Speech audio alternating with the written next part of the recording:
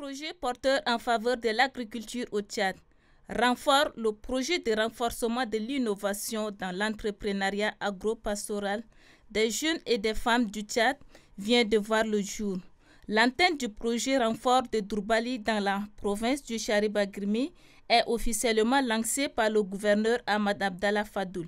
Ce projet vise d'une part à contribuer à l'accroissement de revenus des jeunes et des femmes et d'autre part les aider à créer les emplois décents. Pour arriver à ces changements, le renfort se doit de promouvoir des entreprises de jeunes et de femmes viables créatrices d'emplois et intégrées dans les chaînes de valeur agro-silvopastorales et l'autorité administrative Ahmad Abdallah Fadoul, ce projet est une réponse aux difficultés que rencontre la population bagirmienne. Notre province, l'agriculture est la principale activité économique occupant plus de la majorité de la population.